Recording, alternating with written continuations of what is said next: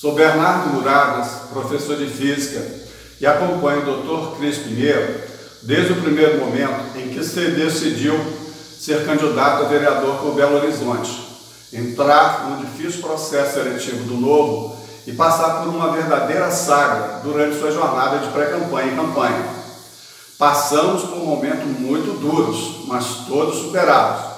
Por isso, eu apoio esse companheiro, com quem caminhei ombro a ombro e fortemente o recomendo, porque apesar de ser candidato pela primeira vez, tenho a convicção que ele reúne todas as condições pessoais e o conhecimento necessário para bem defender as propostas do seu execuível e bem elaborado plano de vereança. Se há um candidato que esteja preparado e que possa representar a vontade do cidadão com altivez, ética e competência, este é o Dr. Cris, ele tem estofo para exercer a vereança de forma responsável nos amargos anos que teremos pela frente.